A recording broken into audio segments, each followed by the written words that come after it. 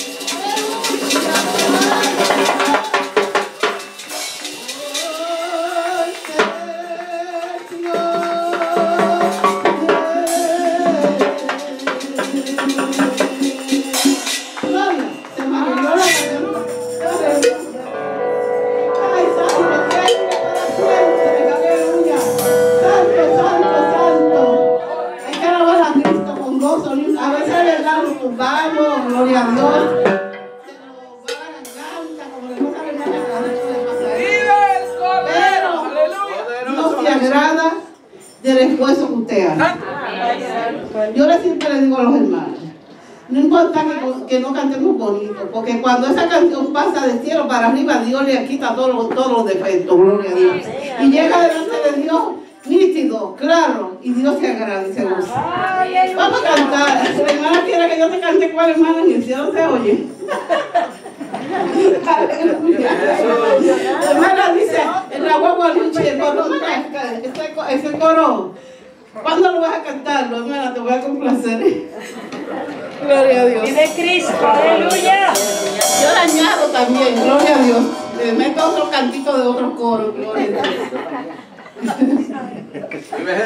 Gloria a Dios.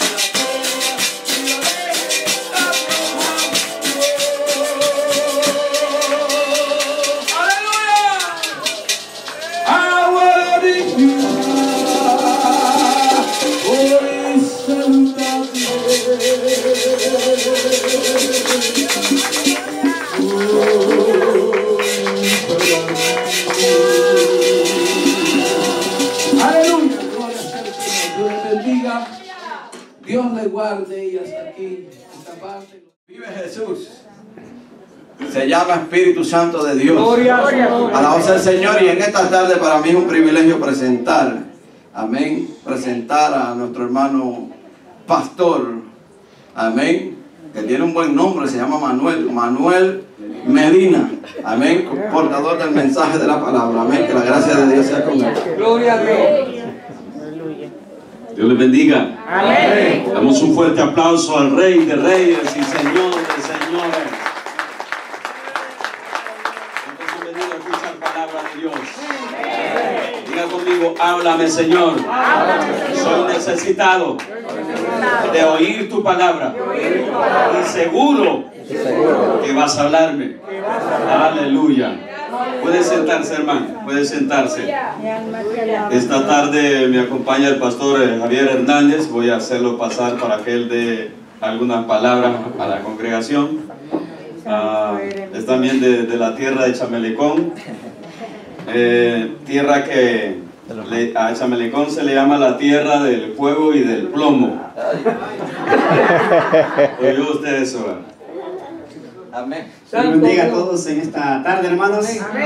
Muy contento de poder estar aquí con ustedes. Pero más contento estoy yo, hermanos, porque Pastor Juan, veo que esto va de aumento en aumento y crecimiento. Porque veo caras nuevas en esta congregación, hermano. Y esto me da una pauta, hermano, de que vamos un buen camino, hermano. Y sigan así adelante, hermano, porque la palabra de Dios dice que ninguno que pone la mano en el arado es digno de mirar atrás. Amén. Dios les bendiga, hermanos. Pastor. Gloria a Dios. Gloria al Señor. Voy a aleluya. hacer pasar a mi pequeña esposa. Amén. Ven para acá.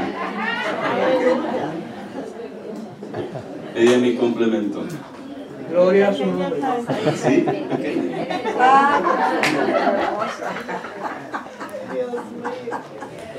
Dios le bendiga, hermanos, en esta hermosa tarde. ¿Cuántos alaban el nombre del Señor? Dios es bueno.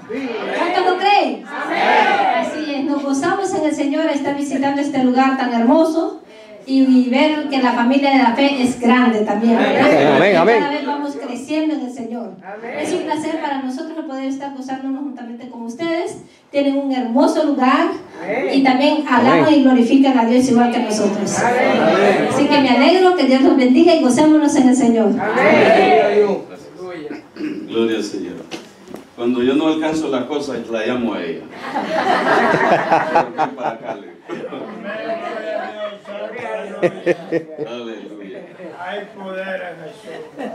Vamos a abrir nuestra, nuestra Biblia, amados hermanos, y agradecer al hermano Juan Hernández, que no lo conocimos en Chamelecón, pero Dios es fiel y nos trajo a conocerlo a este lugar. Conozco el lugar donde Bel vivió, son lugares donde nosotros andamos predicando, andamos evangelizando, y eh, gracias al Señor por, ello. La primera carta del apóstol Pedro, capítulo 4, versículo 10 y 11. Amén. Primera carta del apóstol Pedro, capítulo 4, versículo 10 y 11. Cuando lo hayan encontrado me contestan con amén. Amén. Gloria a Dios. Primera de Pedro 4, del 10 al 11. Voy a esperarlos. Gloria a su nombre. Eh, vamos a leer la palabra de Dios particularmente. Y la vamos a leer honrando al Padre, al Hijo y a su Santo Espíritu y a su letra noticia.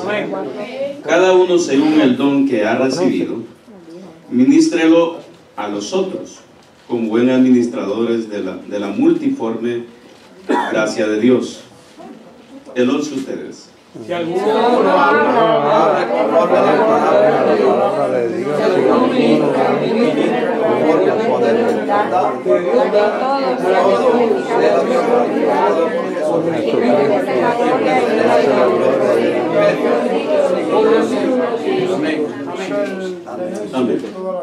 Puede sentarse. Quiero hablarles esta tarde bajo el tema Un buen administrador de la gracia de Dios.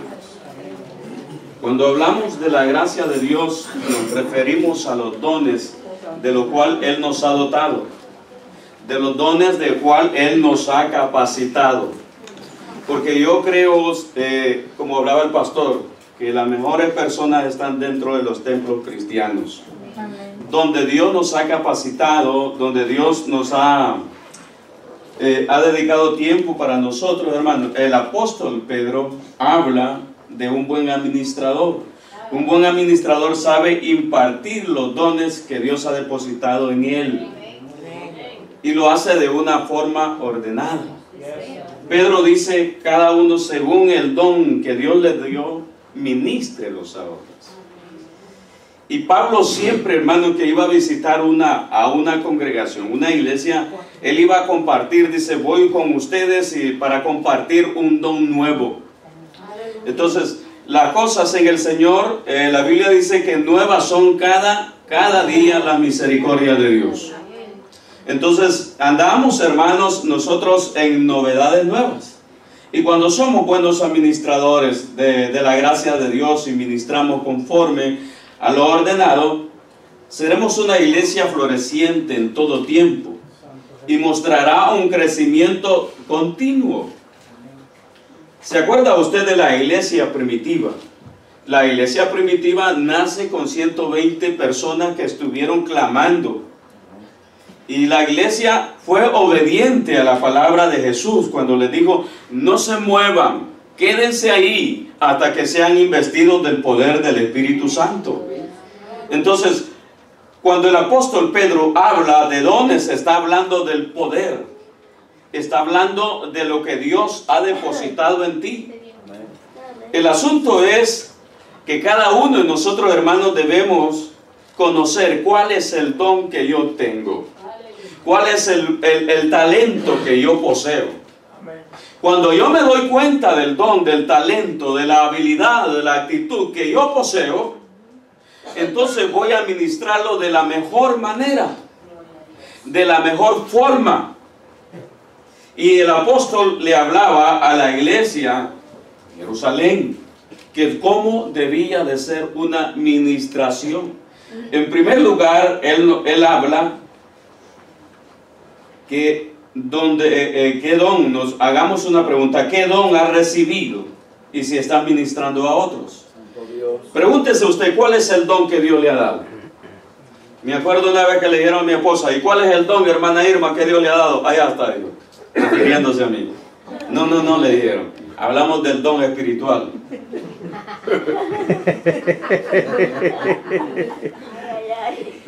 Entonces le, hablo- de- le estoy hablando del don espiritual, no de su esposo. Porque ese ya lo conoce usted. Y mire hermanos, nosotros tenemos don que nos da, el don que nos da conocimiento. Y el don que nos da conocimiento es el don de la sabiduría. La sabiduría para poder gobernar, la sabiduría para poder dirigir. Acuérdese usted que cuando Salomón, Dios lo llama como rey, Salomón no pidió riquezas, no pidió poder. Salomón pidió un corazón entendido, un corazón sabio para go- gobernar aquella gran nación. Entonces, nosotros hermanos, cuando pedimos a Dios, pedimos casa, pedimos carro, pedimos dólares. Pero Dios te dice, ¿por qué no pides la sabiduría? Dice la Biblia en Proverbios, clama la sabiduría en las puertas, en los parques, en las ciudades.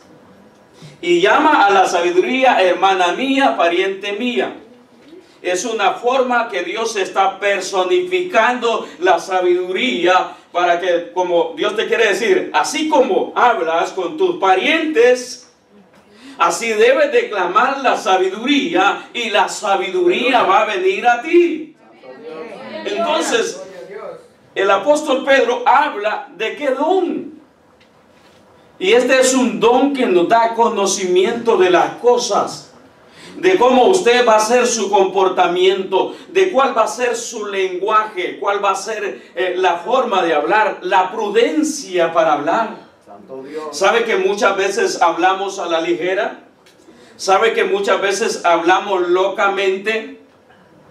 Muchas veces somos grotescos para hablar, somos ásperos para hablar. ¿Por qué? Porque nos falta la sabiduría. Y es la sabiduría, hermana y hermano, que va a adornar tu persona. Es la sabiduría que va a hacer reflejar. Dice el, el- el proverbista Salomón, si así como buscas, así como buscas la plata, buscará, buscar la sabiduría, otra clase de hermanos seríamos.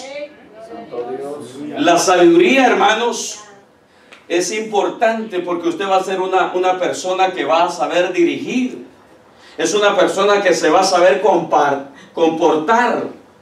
Es una persona que va a saber cuando tiene que callar y cuando tiene que hablar. Entonces, lo otro, hermanos, el otro don que nos da conocimiento es ciencia. ¿Qué es la ciencia? La ciencia es el don que Dios te, te da a ti. La ciencia es de hechos que, viene, que tú profetizas, de hechos que no han ocurrido y que están para ocurrir. La ciencia es cuando, una palabra de ciencia es cuando el, el- el pastor, el líder o el predicador dice, hermana Julana, el Señor dice que tú hiciste esto y esto. Palabra de ciencia. Está la palabra de profecía, pero estoy hablándole de un don que nos da conocimiento. La ciencia, hermano. Mire qué cosas. Eh, Daniel estaba, hermanos, en un gobierno perverso, babilónico. Pero por la palabra de Daniel se gobernaba. Cuando Nabucodonosor tuvo sueño y esos sueños no habían sido revelados, y él estaba, hermanos, inquieto porque no se acordaba del sueño. Entonces él empezó a traer a sus adivinos, a sus sabios, a los sátrapas de su, de su reino. Y ninguno le pudo, con, le pudo, hermanos, decir el sueño. Y alguno dijo, nadie, nadie en la historia ha pedido semejante cosa.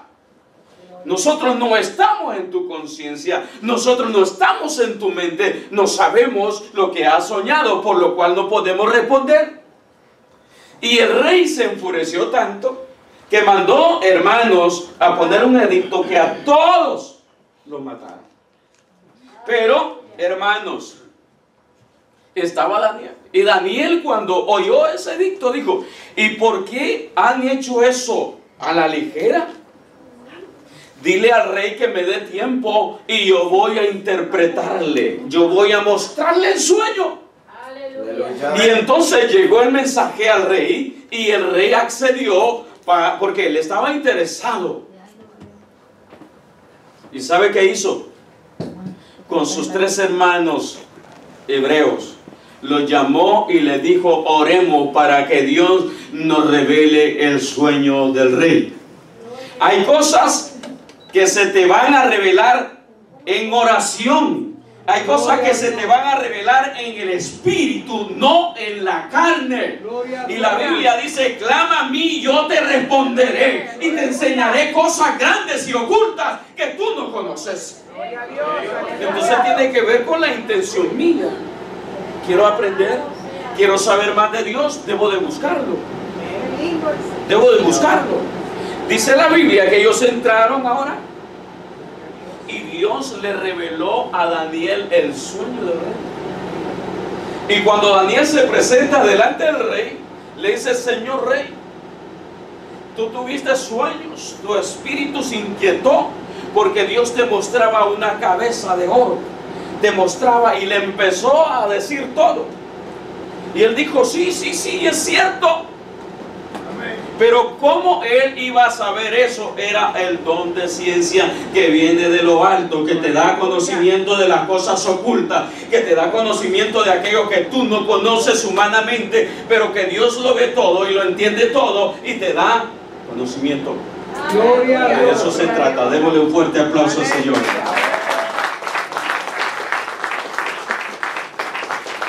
El otro don que nos da es que nos da conocimiento es el don de discernimiento. ¿Para qué necesitamos el don de discernimiento? Porque de repente alguien viene de para acá y como no lo conocemos, no sabemos si lo que él, lo que se mueve dentro de él, en su espíritu, es de Dios o no es de Dios. En Belice, eh, voy a, a- a, hermanos a predicar en unas iglesias y me dice el, presidente de los pastores allá en Belice, mira Medina, me dice, vas a ir a un lugar donde la pastora Sandra Vilés en Belice, pero me dice, ten cuidado porque esa mujer tiene, eh, es una vidente, ella ve lo que sucede. Hace, hace dos meses, dice, vino un evangelista y ella no lo dejó predicar porque le dijo, acabas, dos meses acabas de caer en adulterio, en fornicación, y lo paró. Dije yo, gloria a Dios, porque hay hombres y mujeres de esa, de esa talla. Hermanos, es importante entender eso, es importante conocer eso. El discernimiento te va a ayudar para conocer si el espíritu de esa persona es de Dios. Si esa persona está hablando conforme a lo que Dios está revelando. O es una persona que está engañando, que está mintiendo. Entonces el espíritu de discernimiento se encarga de ver el mover dentro de la iglesia. Usted sabe que Satanás es un imitador de primera clase. Satanás es un imitador que se viste de ángel de luz. Y tú puedes decir, ve, es un ángel. No, es un ángel caído. Entonces el discernimiento. Acuérdate que cuando Job estaba pasando los grandes procesos, venían los informantes, los que traían noticias, decían, Señor, mi Señor, solo yo escapé. Y le daba la mala noticia. Y una de las malas noticias fue que dice, fuego cayó del cielo. No todo lo que cae del cielo es de Dios. ¿Me escuchó? Por, por eso es importante tener nuestros sentidos ejercitados. Por eso es importante conocer el mover del Espíritu en la iglesia. Entonces eso hace que la iglesia se despierte, eso hace que la iglesia sea una iglesia muy sabia, sea una iglesia que no muy fácil la engaña, sea una iglesia que tiene su lámpara encendida, es una iglesia que luz a las naciones, es una iglesia que sazón de la tierra, porque la gloria, la presencia de Dios está en medio de ellos. Por eso el apóstol Pedro estaba muy interesado que los administradores, que los líderes, que los pastores, que la iglesia conociera el don y conforme ese don lo ministrara a otros. Porque la Biblia, Jesús dijo que la Biblia no es de interpretación privada. La Biblia es para todos. Entonces vamos a ministrar y vamos a dar conforme a lo que Dios nos ha dado. Los otros son los dones o el don que nos da poder para hablar. ¿Cuál es el don que nos da poder para hablar? El hablar en lengua. ¿Cuántos hablan en lenguas? Levántame la mano. Lenguas espirituales. Hablo de lenguas espirituales. El don de lenguas es una señal de que una persona ha sido bautizada con el poder del Espíritu Santo. Entonces esa persona empieza a hablar en lenguas. Lenguas angelicales puede ser, eh, puede ser también una lengua extraña de un idioma, de un dialecto, pero que está hablando en lenguas. Entonces la gente señala, dice la hermana, el hermano habla en lenguas. ¿Por qué? Porque esa es una señal. Y cuando él habla en lenguas, dice que habla para Dios. Y como habla para Dios, él dice la Biblia que él solo se edifica. El hablar en lengua es para edificarnos personalmente. Porque de repente usted está cansado, está cargado, está trabajado. Y no puede articular palabra porque, porque el problema es mayor usted. Y entonces usted se siente sobrecargado. Pero cuando usted se postra delante de la presencia de Dios, Dios conoce su sentir, Dios conoce la situación y empiezan a fluir lenguas espirituales donde Dios, eh, donde usted empieza a clamar con gemidos indecibles, dice el apóstol Pablo, y que usted no sabe lo que sucedió, lo que está pasando con usted, pero nomás empezó a orar, entró en un ambiente diferente que la carga vino al Señor y la tomó y le dijo, está en mi carga, no es la tuya.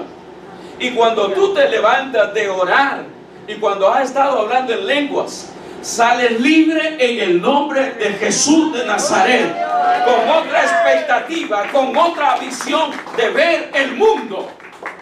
El enemigo te va a poner panoramas adversos. El enemigo te va a decir, ya no eres el mismo de antes. Ya no sos cristiano, ya Dios no te oye. Ya Dios te abandonó. No, hermanos. El apóstol Pablo dice en estas palabras, diga el débil, diga el débil. Entonces, cuando tú hablas, debes de hablar positivamente. El apóstol Pablo decía, doy gracias a Dios que hablo más que ustedes en lenguas. Conocía los géneros. El conocer los géneros de hablar en lengua te da una capacidad porque tú ya estás en el ambiente espiritual. Ese es un don que nos habilita para, para hablar. Lo otro es el don de interpretación de lenguas. Mire qué importante. Ya el interpretar lenguas trae el mensaje a la iglesia. Y el que interpreta lenguas, el mensaje que él trae es, número uno, es de exhortación. Y la palabra exhortar es que se convierte en un buen consejero que te regaña, te exhorta, pero con sabiduría. Y hasta te dijo de que te ibas a morir y tú te ríes porque te lo dijo bien. y te sentiste bien, aceptaste tu responsabilidad. El otro es hermanos, que sirven para edificar. Entonces cuando hay una persona que interpreta lenguas, edifica la iglesia. Alguien está hablando en lengua, el, el, que, el que está ministrando dice, calle la iglesia, porque hay alguien que está hablando en lengua y hay otro. O sea, si no hay, si no hay interpretación de lengua, oremos para que Dios nos dé la interpretación de la lengua del hermano o de la lengua del hermano. Entonces la persona empieza a recibir, hermanos, el mensaje de Dios y empieza a decir, así dice el Señor, hermana Esther, hermana María, tú, y empieza el Señor a hablar. Eso es, hermanos, que te edifica. Lo otro es que te consuela. ¿Cuántos se han sentido tristes? ¿Cuántos se han sentido abandonados?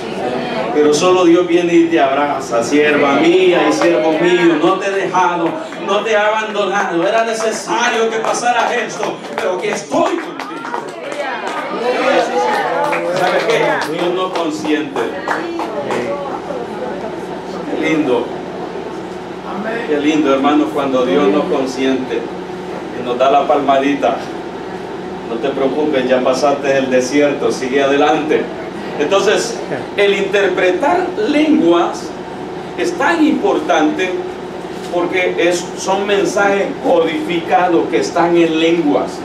Pero la persona que tiene el don de interpretación de lengua se le hace tan fácil que empieza, hermanos, a entender lo que él dice o lo que ella dice. Necesitamos iglesias con estos perfiles Necesitamos iglesia sabia, iglesia con conocimiento como son ustedes en este lugar. No me creyeron. No me creyeron. Ustedes son sabios en el nombre de Jesús de Nazaret. ¿Cuánto lo creen? Dale fuerte aplauso al Rey de Reyes, Señor de Señores. Es el don de profecías. el don de profecías. Yo no puedo decir, eh, eh, eh, aquí, aquí hay un profeta que es Javier. No, el don de profecía se reparte a toda la iglesia. Es un impartimiento del Espíritu Santo. Tú puedes venir y Dios te, bajo esa unción, Dios te da una palabra y tú empiezas a profetizar la profecía, hermanos, la profecía en aquel tiempo, Dios tenía profetas y estos profetas eran los portavoceros de Dios.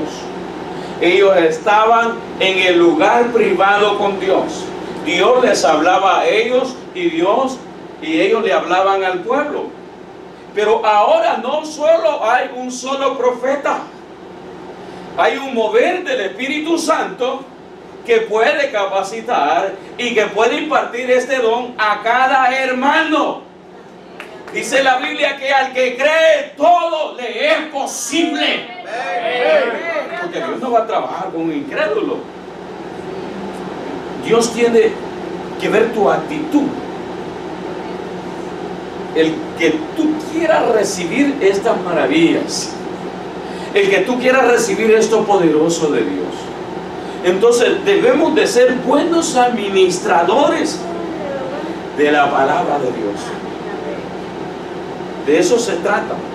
Entonces, la profecía, hermanos, van ojo, que es un don, pero la Biblia también dice que el Señor estableció ministerios y entre los ministerios están los profetas. Pero yo estoy hablando de un don de impartición, que es don de profecía, que usted puede profetizar hoy, pero no quiere decir que eso lo avaló para darle un título que ya lo voy a llamar profeta, no. ¿Me explico? Bueno. Lo otro es don que nos habilitan para actuar. ¿Cuál es un don que nos habilita para actuar? Es el don de sanidad. Imagínense en una congregación que estén los enfermos y este don, hermano, es un don generalizado. No, usted no puede decir el, el- hermano Pedro, el hermano eh, Javier tiene el don de sanidad. No, usted lo puede tener. Jesús dijo, y estas señales seguirán a los que creen. ¿En quién? En mi nombre. Echarán fuera demonios, pondrán la mano sobre los enfermos. ¿Y qué sucederá? Esto sanará. El problema es que nosotros no nos atrevemos. El problema es que nosotros eh, dependemos, somos muy dependientes. Pero yo creo que en el lugar donde usted está, si usted se da cuenta de una persona que está enferma, dígale, hey, tráigalo. Yo voy a orar por él. Y estoy seguro que Dios lo va a sanar. ¿Cuántos lo creen? Nosotros somos como el rey de Israel en el tiempo de, Eliseo. Había un hombre eh, as- eh, de, Siria llamado Naamán. Era un hombre principal, era un general, donde Dios había dado muchas victorias a través de la mano de él. Pero él tenía un problema, que él era leproso. Y ser un leproso en aquel tiempo, hermano, era desechado por cualquier sociedad. Por ejemplo, un judío no podía estar cerca de un leproso, porque eso era literalmente contaminación para él. Hablo en el tiempo pasado, no ahora. Ahora, entonces, hay una, una muchacha judía ahí en, en- Siria y le dice, mi señor, en Israel hay un, hay un siervo que él te puede sanar. Ve para allá. Entonces ella está promocionando de un profeta que ella sabe que lo sabe, que, tiene ese don de sanidad. Entonces va a Naaman y Naamán, hermano, llega y entonces le anuncian, eh, mandan carta, el otro rey le manda carta al de, al de Israel y el de Israel lee y de repente decía la carta, oye rey, ahí te mando a Naamán, por favor sáname. Y eso era una afrenta para el rey, porque eso no lo podía hacer él. Rompió la, ca- la carta, rasgó sus vestiduras y tantas cosas que hizo, tanta rabieta que hizo. Y el profeta se dio cuenta. Le dijo, dile al rey que lo mande para acá. Y hoy sabrán que hay profeta en Israel. Aleluya. Santo Dios. Así de sencillo. Y llegó Naamán. Y el profeta no se inmutó, sino que le dijo a su siervo Gies, ve y dile que se zambulla siete veces en el río Jordán. Y eso es todo. Y el hombre, como estaba acostumbrado a las ceremonias, estaba acostumbrado a la buen- al buen reci- recibimiento, no fue eso, no pasó eso con él. Y eso estaba golpeando su egocentrismo. Eso estaba golpeando su orgullo. Y dijo, qué barbaridad. Yo creí que el profeta iba a salir para mí, iba a empezar a, orar a Dios, iba a imponer las manos y yo iba a sanar. Y le dice la Juan, pero mi Señor, si te pidieran una cosa más difícil, no, no la puedes. Yo sé que la harías, no la harías. Lo convenció. Dice, se zambulló y a las siete veces desapareció su lepra. Eso es el don que te ayuda a actuar. Es importante eso porque de repente eh, la hermana María o la hermana Teresa, el hermano Juan o el hermano Pedro o José son, son personas ignorados en la comunidad. Pero cuando hay un hecho de eso, que hay un enfermo, va el hermano Juan, el hermano Pedro o la hermana María, uno de ellos se impone las manos, se sana y, y aquella persona salió, decía, ah, ya no siento nada. Entonces la gente que no te conocía, te conoce porque hubo un poder para actuar en ti, que es el poder de Dios sobre ti. Pusiste mano y ese enfermo se sanó. O el otro don es el don de milagros. El don de milagros. Esto es más, más pesado, más fuerte todavía. Lázaro tenía cuatro días de muerte. Y como Dios o Jesús trabaja con nosotros. ¿Cuántos colaboradores del Señor hay esta tarde? Aleluya. Dice Marta, mueve la piedra. ¿Y Marta qué le dijo? Señor, ya hiede. Óyeme, no te estoy preguntando si hiede o no hiede. Ah, mueve esa puerta, mueve esa piedra ya. Entonces la gente empieza a argumentar. Y cuando empezamos a argumentar se nos va el tiempo. Y los milagros deben de ser rápido. Rápido, rápido, rápido. Entonces movió la piedra Jesús solo dio la palabra, Lázaro, ven fuera. Y salió Lázaro. Hermanos, eso te habilita a ti. Ese es el don, hermano, que Dios te da para actuar. Es una actuación sobrenatural. Porque esto de, milagros son hechos, hermanos, que detienen las leyes naturales. Las pare, las para y entonces viene la ley sobrenatural y empieza a ordenar las cosas. Qué importante es. Lo otro es el don de fe. ¿Cuántos tienen fe? Levánteme la mano. Levánteme la mano. Dale un fuerte aplauso al Señor por ese don maravilloso.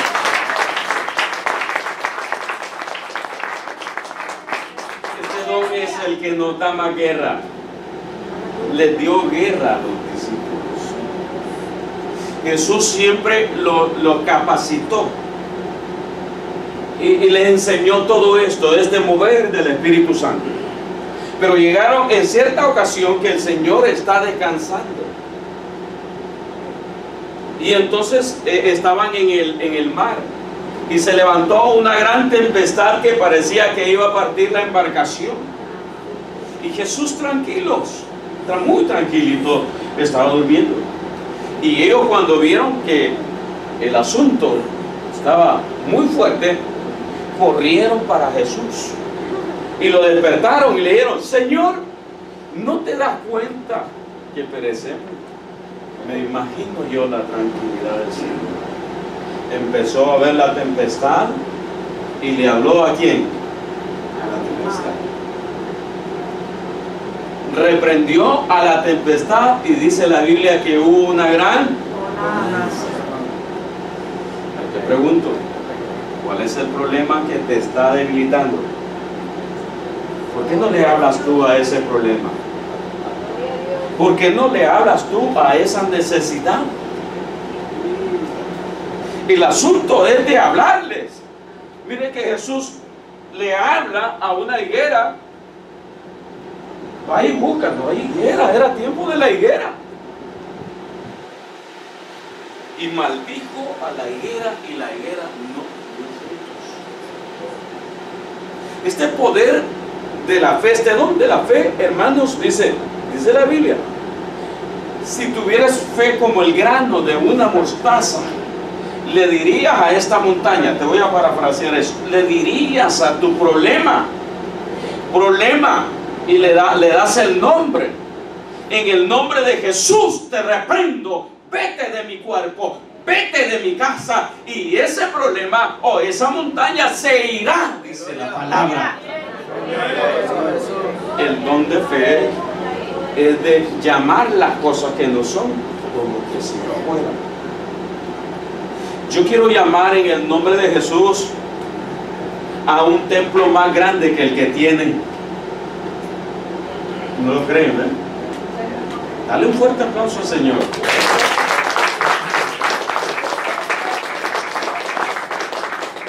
Yo sé que ustedes no son una iglesia conformista. Yo sé que son una iglesia que están viendo a través de los ojos de Dios.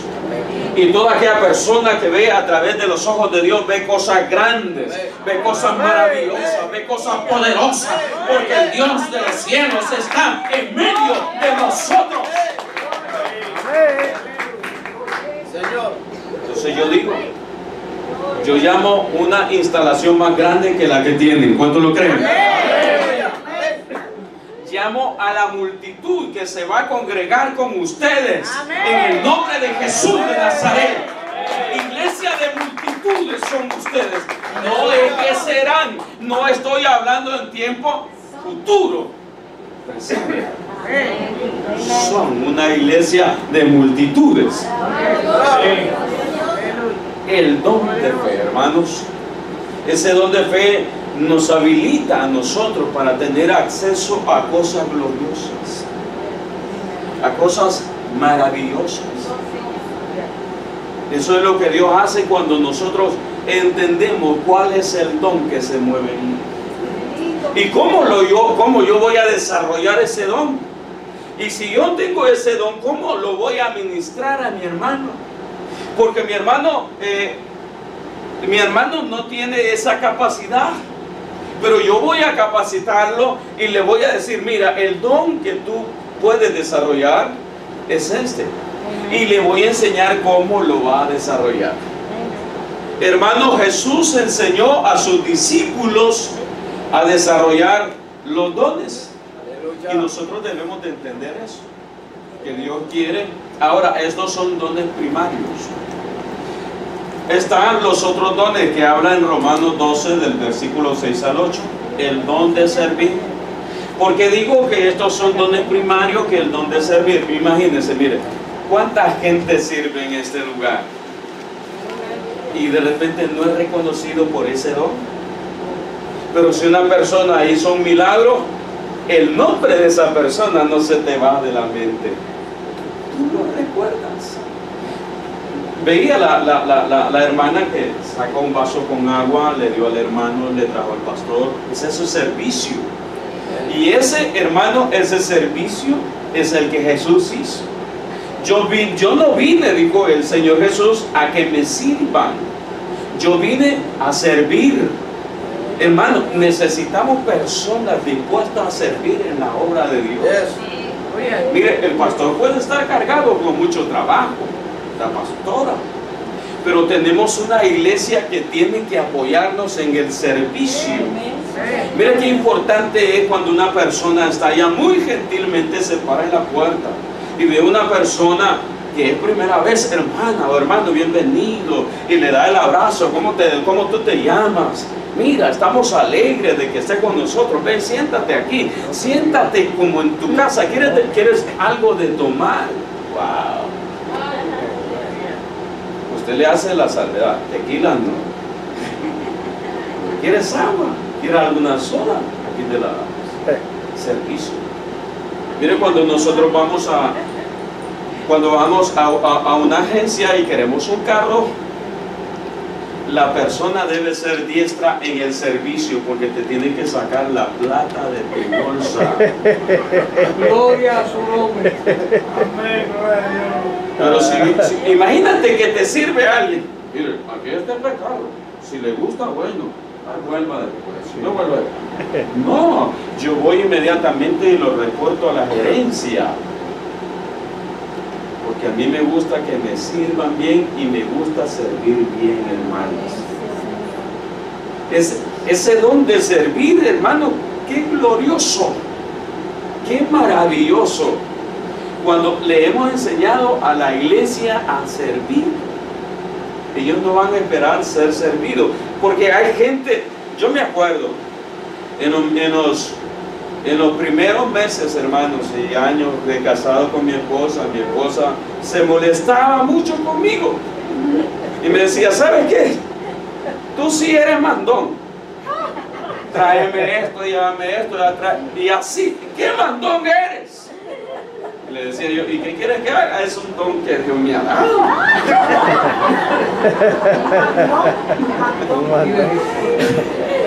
Pero entendí, comprendí que eso me iba a afectar. Y claro, lo cambiamos. Terrible. Dale un fuerte aplauso, Señor.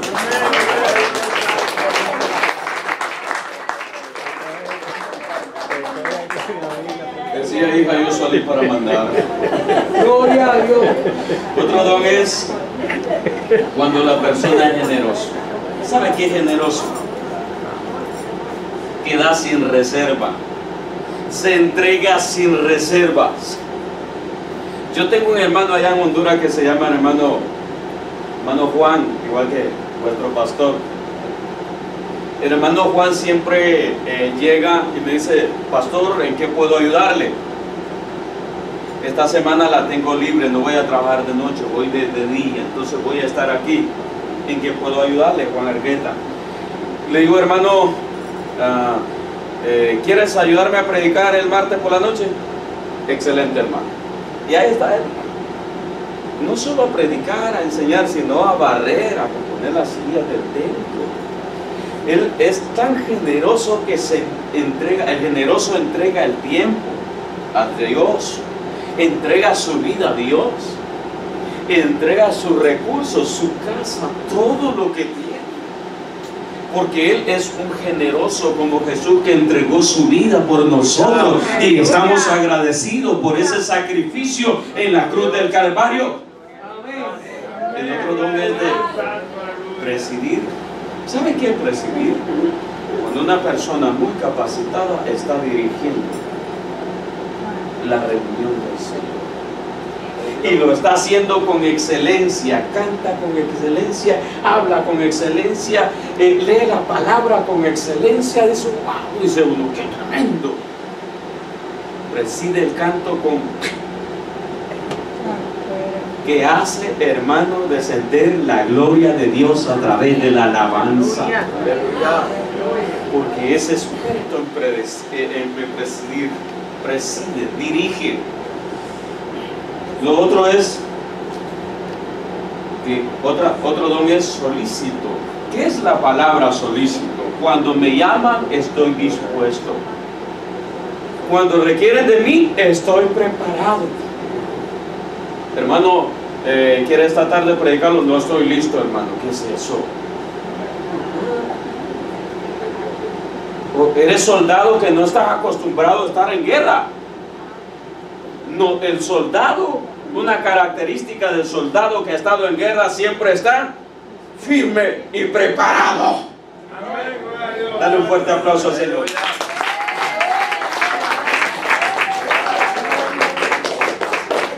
Que siempre está a la hora que lo requiera. Su celular lo tiene activado por si una oveja necesita que lo lleven donde el médico por si una oveja necesita un consejo, por si la oveja necesita, o el líder necesita una palabra. Lo otro es, el otro don es misericordioso. ¿Cuántos son misericordiosos? Hermano, misericordia es amar miseria. Mefiboset era un minusválido y estaba en tierra de Lodobar, de miseria. Pero hermano, el rey lo mandó a llamar. Nosotros estábamos en la miseria, en la posilga, en el lodo, pero el rey de reyes metió su mano en la posilga, te sacó ahí a llamar y hoy te tiene en este lugar para que le alabe, para que le exalte, para que le glorifiques. Gloria a su Dios. El otro es de exhortar. Exhortar ya estaba diciendo yo que para corregir sabiamente. Que puedas restaurar, que puedas ayudar, no es regañar. El otro don es don de dar con alegría. Qué importante es cuando damos con alegría. Miren que yo salía con mi esposa a pasear, era pobre, pero ahora soy rico. ¿Cuántos ricos vemos esta tarde? Un fuerte aplauso al Señor. Salíamos con mi esposa, eh, agarrábamos un bus, eh, íbamos para el parque, pero nos, nos bajábamos un kilómetro antes del parque, porque el bus llegaba hasta ahí. Y de ahí tenía que agarrar un taxi. Pero que yo, yo era muy tacaño. La hacía caminar hasta allá. Y cuando llegamos al parque, bien sudados. Compraba una, una bolsa con agua, se tomaba la mitad ella y yo la mitad. Compraba una naranja, partía la naranja por mitad, le daba la mitad a ella, me, mitad- me- me comía la mitad. Y, y varios días, varios domingos hice eso, pero una, una de, de- de- de- las veces como que sacó la piedra del zapato cuando le dije, amor, prepárate porque vamos para el parque. Nunca más vuelvo a ir al parque. ¿Por qué? Porque vos sos un tacaño terrible. Hay que hablar, aleluya. Amor, como usted. Hay que hablar. Todos los domingos la saco a pasear. Eso no es pasear, a caminar, a aguantar hambre, a aguantar sed, desgraciado. Usted sufre. Hermanos, le cuento eso porque uno aprende la dice. Amén. No, usted sale perfectito, no. No, estamos lisiados, pero Dios va, va curando esas Sí, cosas Señor, poco a amén. poco. Entonces, eso tuve que aprenderlo, pero sufrió mucho mi esposa. El otro don que lo pone el apóstol Pablo es de enseñanza y el otro es de repartir con liberalidad. El repartir con liberalidad es, no es porque aquí está la familia Medina, solo a ellos les vamos a dar. No. No, si tú vas a repartir, puede estar tu mamá, puede estar tus hijos, puede estar tu familia, tu señora, pero tú vas a empezar con los demás. Amén. Amén. Eso es liberalidad. No tienes personas escogidas para dar. No, eh, estás libre de poder hacerlo. No tienes compromiso con nadie. Tu compromiso es con Dios y de servir a las personas. Eso es liberalidad. Segundo lugar, hermanos, hablando siempre de un buen administrador de la gracia de Dios, en segundo lugar tiene que ministrar conforme a la palabra de Dios. La persona que va a ministrar la palabra de Dios debe estar bien aplicado y debe de tener un amplio conocimiento de la palabra. Porque muchas personas te, te vienen a contar o nos vienen a contar cuentos con moralejas. Pero el apóstol habla, hermanos, que el que ministre conforme a la, ministre conforme a la palabra de Dios. Respaldar nuestros hechos con la palabra de Dios. Predicarlo, debemos de hacerlo de la mejor manera, honestamente, no mintiendo. El buen predicador habla con los hechos, habla con su experiencia. Mire, una de las cosas que a mí no me gusta andar solo, siempre me gusta andar con mi esposa. Y una de mis oraciones era, Señor, cuando yo vaya a los Estados Unidos, que tú me vas a dar visa, tienes que darle visa a mi esposa, si no, no voy. Y le dieron visa a mi esposa y ando con ella. Porque si yo estoy mintiendo, ella me va a decir, hey, hey, sentate ahí mentiroso. ¿Cómo es posible que yo voy a, dar una conferencia de matrimonio y ando de llanero solitario? ¿Qué te parece? Nosotros allá teníamos una conferencia de matrimonio y le decimos al, al hermano que iba a ir a impartir la, la conferencia, hermano, el requisito es que esté tu esposa. Me dice, hermano, para esa fecha no está, puede estar mi esposa, pero yo puedo ir. No, si no está tu esposa, no puedes venir. Hermanos, porque la persona que te conoce más a ti es señora, tu esposo. Señor, amén. A veces a nosotros no nos gusta cuando la señora nos corrige. Nos ponemos de correr. Ya, cállate, ya, Denis. Pero mire, hermano, Dios te ha dado una ayuda. Y la mujer hace dos cosas: ayuda idónea Aleluya. y es tu doña también. Así mismo es. Tú. Aleluya. Trata de no, hermanos, cuando prediquemos la palabra, tratemos de no, de no ministrar fuego extraño. ¿Qué es fuego extraño? La Biblia nos habla de un sacerdote que no gobernaba bien su casa. Y este sumo sacerdote se llamaba Aarón.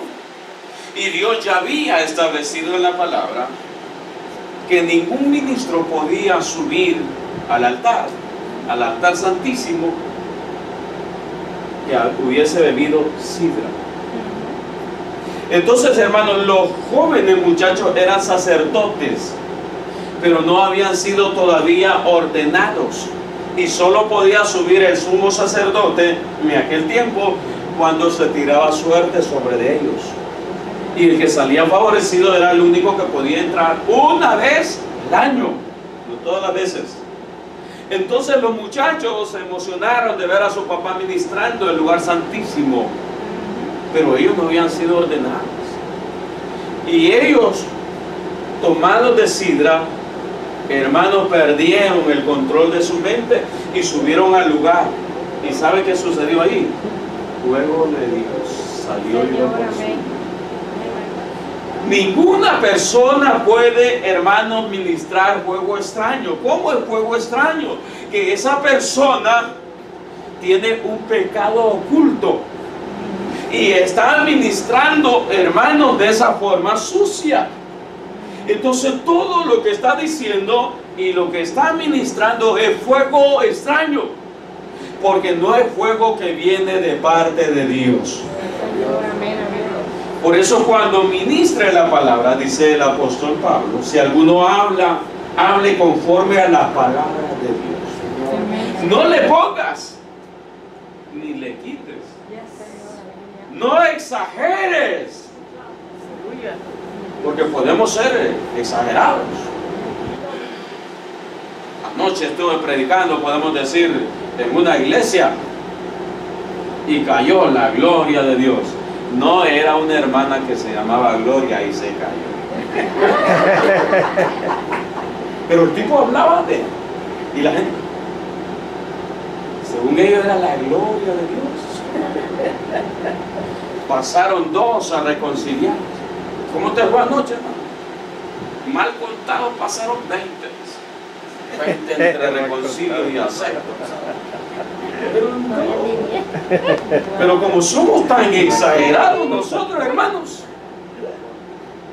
pero nosotros debemos de hablar conforme a la palabra. ¿Sabe por qué? Porque tarde o temprano podemos ser sorprendidos en la mentira que estamos haciendo. Y a Dios no se le puede engañar. Dale un fuerte aplauso Señor.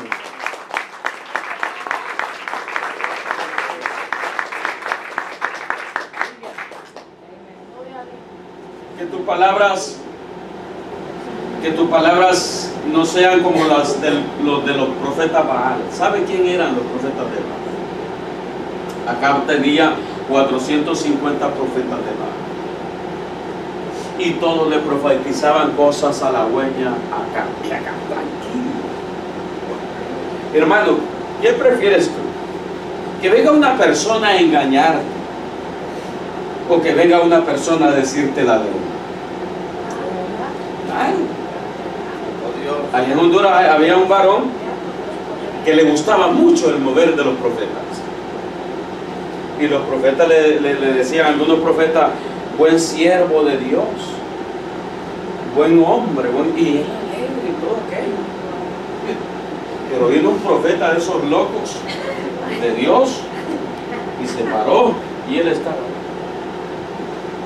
esperando que el profeta le hablara. Dice, dice el Señor que eres un buen ladrón. Ya eso no le gustó. Y cuando le profetizaban cosas buenas decía, habla Señor. Pero cuando le dijeron, tú eres un buen ladrón, digo, calla Señor. ¿No le gustaba eso? A la gente le gusta que soben la de vez en cuando es bueno, pero no te acostumbres a eso, no te acostumbres a la, a la, a la mucha miel, que te vas a empalagar. ¿Te puedes enfermar? Santo Dios. La mucha miel te empalaga. Tercer lugar, hermanos, un buen administrador de la gracia de Dios ministra de esta forma. Si ministra, hazlo conforme el poder que Dios te da. ¿Sabe que Dios nos ha dado su poder, el poder del Espíritu Santo? Dice la Biblia, Hechos 1.8, y recibiréis poder cuando haya venido el Espíritu Santo sobre vosotros. Y entonces sí, me van a ser testigos. Oiga bien, y me seréis testigos en Jerusalén, en Samaria, en Judea, en Samaria y hasta lo último de la tierra. La palabra de Dios tiene un poder, tiene un alcance universal, porque viene del Dios altísimo.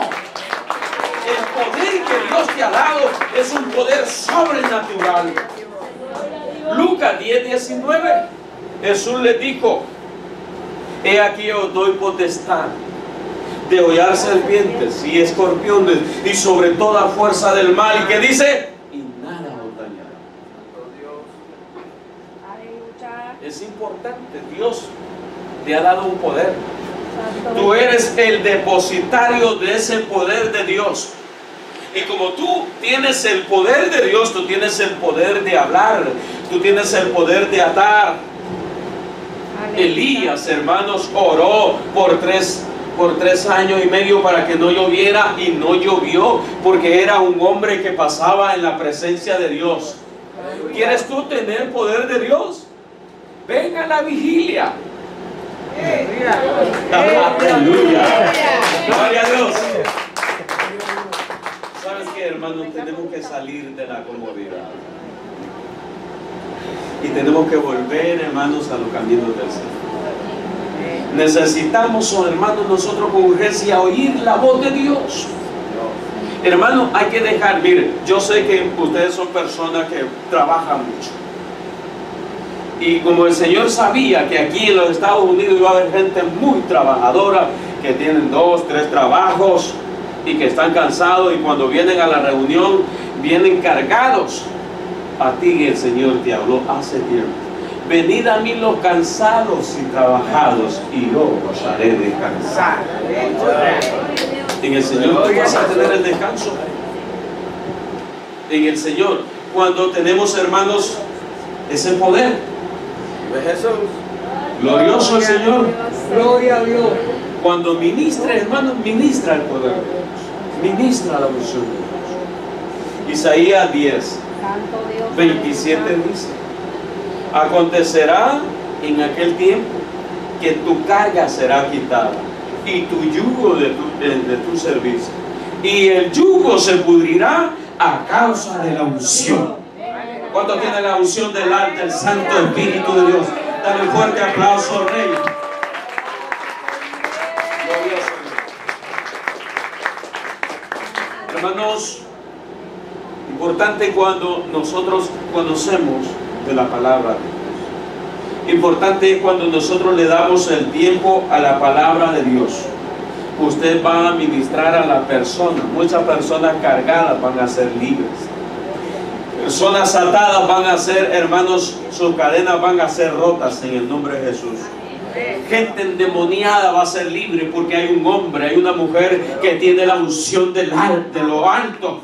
Y que esa unción, hermanos, los demonios tiemblan. Porque hay un hombre de Dios, una mujer de Dios que vive en santidad y que busca la presencia de Dios. ¿Por qué cree usted que los leones no se comieron a Daniel? Gloria a su nombre. Siempre acostumbraba a orar. Cuando vieron los leones que cayó Daniel, Daniel, hermanos, tiraba un olor, un olor a santo, la santidad del Dios Santísimo. Y los leones, miren, tranquilitos, lo estaban cuidando. Pero cuando cayeron los otros, ah, carne fresca. Y los devoraron. ¿No quieres que el enemigo te devore? Pedro dice, nuestro adversario, el diablo, anda como león rugiente buscando a quien devorar. Pero cuando te busque a ti, hay fragancia de Dios, hay presencia de Dios, hay unción del Espíritu Santo. El demonio va a huir. Un hombre, una mujer de altar. Necesitamos, hermanos, de estos dones, de esta unción de Dios. Quiero ponerte de pie. Ah, Gloria que vive. Vive mi Cristo, vive. Aleluya. Aleluya. ¿Quieres levantar tus manos? Poderoso Jesús. Levanta tus manos, solo cierra tus ojos. Y yo quiero que tú te quedes calladito por un momento, o calladita por un momento. Deja que el Dios de los cielos te hable a través de su Santo Espíritu. ¿Hace cuánto tiempo no lloras en la presencia de Dios? ¿Hace cuánto tiempo tu fuente se secó? Pero Dios quiere esta tarde bendecirte. Oh, aleluya. No sé qué problema tú tienes. No sé cuál es tu necesidad. Pero el Dios de los cielos la conoce. La Biblia dice que, que, que cierres la puerta de tu aposento y la puerta de tu aposento, de tu cuerpo son tus ojos. Y ora en secreto. Y el Dios que te oye y que te ve, te recompensará en público. Tú que has tenido problemas con tus hijos, tus hijos se apartaron del camino. Tú que has tenido problemas con tu esposo, tu esposo no es el mismo de antes, ha cambiado. Tú tienes problemas en el trabajo, tienes problemas de salud. Yo no sé cómo se llama tu problema, pero tú ponle nombre a ese problema y háblale a ese problema con fe. Tú ya no vas a ser esclavo de ese problema, de esa enfermedad. Tú no vas a ser esclavo. Porque Dios a través de Jesús ha venido a liberarte. Él ha venido a tomar tus cargas. El apóstol Pedro dice que eches todas, toda tu ansiedad sobre Él, porque Él tiene cuidado de ti. Tú que te sientes desanimado, cansado, tú que te has sentido agobiado, el Señor esta noche te dice, o esta tarde te dice, siervo mío, sierva mía, no me, he apartado de o- o tú crees que Dios no ha oído tu oración. Es cuando más Dios te ha oído. ¿Quieres tomar la mano de tu hermano que está a la par? Toma la mano de él. Santo Dios, aleluya. Toma la mano. Esto de tomarnos la mano es que estamos en unidad. Y dice la Biblia, si dos se pusieran de acuerdo. Padre eterno, en el nombre de Jesús de Nazaret, ora ahí. Te damos la honra, te damos la gloria, la alabanza. Porque tú eres bueno, porque tu misericordia, Dios, es para siempre. Bendigo, Dios, esta, esta iglesia.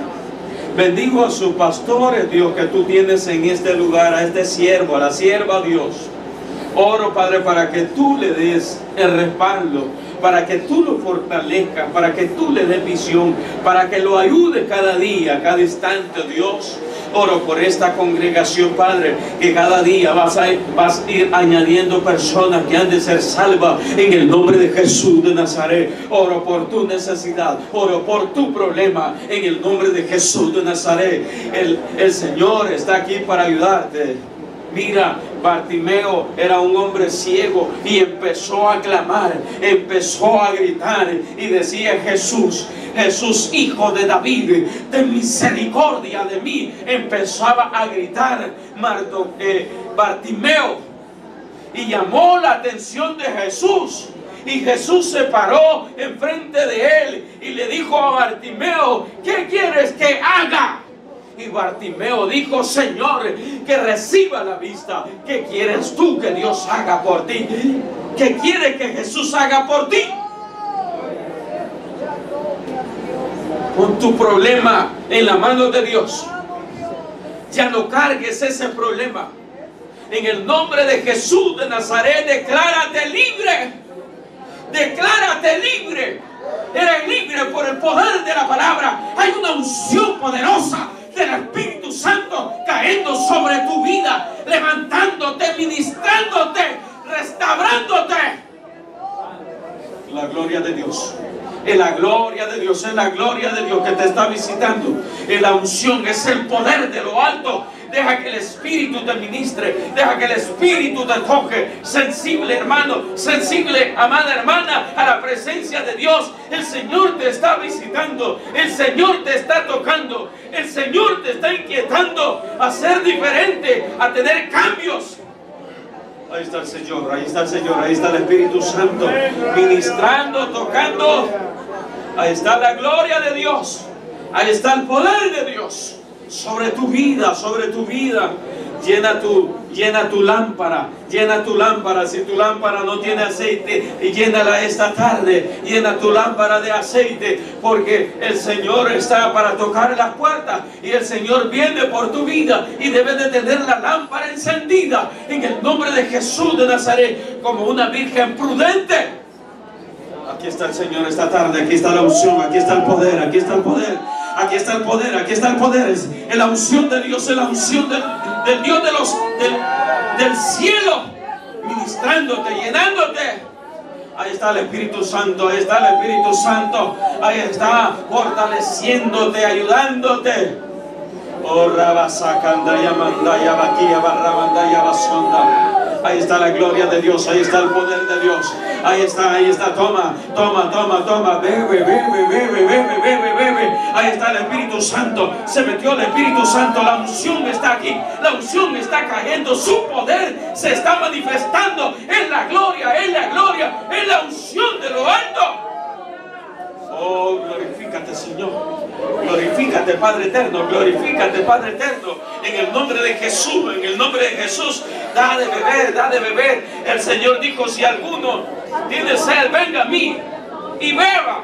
Y de su interior correrán ríos de agua viva, refiriéndose al Espíritu Santo, al Espíritu Santo que está en ti. Tú eres el templo y morada del Espíritu Santo. Ahí está el Señor, ahí está el Señor ministrándote, ahí está el Señor tocándote. Oh, Sakaya Mansanda, Rabakia Mandaya Masoya. Deja que el Espíritu de Dios, deja que el Espíritu de Dios te ministre, deja que el Espíritu de Dios te toque. Ahí está, ahí está, ahí está tocando, ahí está ministrando, ahí está llenando del poder de lo alto. Oh, glorioso Dios, oh, precioso Dios, tuyo es la honra, tuyo es la gloria. Oh, ahí está el Señor. Ahí está el Señor. Ahí está el Señor, ahí está el Señor, ahí está el Señor. Ahí está su gloria, ahí está su gloria, ahí está el poder, ahí está el poder, ahí está la unción de lo alto.